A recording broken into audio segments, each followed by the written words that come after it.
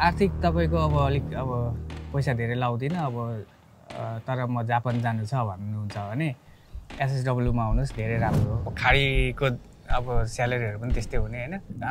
फेसबुकदेखि लिएर सामाजिक सञ्जालहरू धेरै छन् होइन? पढ्नु आफूले चाहिँ मिहिनेत पऱ्यो पढाइमा।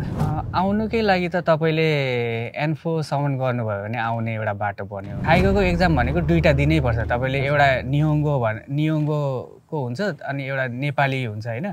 छ महिनामा जिएफटी पास गरेको साथीहरू पनि छ अनि धेरै गाह्रो चाहिँ अब पछि फिल भयो क्या अनि आराम पैसा थोरै भए पनि आराम त थियो भन्ने एउटा फिल हुँदो रहेछ पछि आएर। जस्तै अब तपाईँलाई कसैले कुनै प्रोसेस गर्छु पैसाले भन्यो भने चाहिँ त्यो एकदम गलत कुरा हो। किनभने जापानले